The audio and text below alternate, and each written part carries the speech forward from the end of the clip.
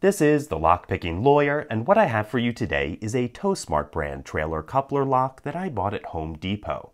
I have it locked around this trailer coupler so you can see exactly how it fits on. Now upon examination, I found three significant problems with the product that I'll list from least to most severe. First, this red portion seems to be made of cast zinc. That can be very brittle and also easy to melt with a normal plumbing torch. Second, the core that holds everything in place is a cheap wafer design, and they tend to be very easy to defeat using a low-skill raking attack. But believe it or not, that is the hard way into this lock. All we have to do is slip a shim down into the locking mechanism, and this will come right open. I cut this out of some feeler gauge.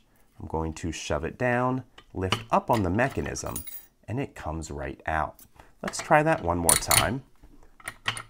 It's locked in place. Push the shim down, lift up on the red portion, and it comes right open.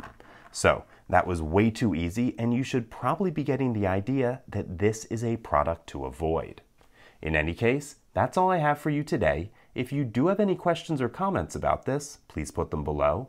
If you like this video and would like to see more like it, please subscribe. And as always, have a nice day. Thank you.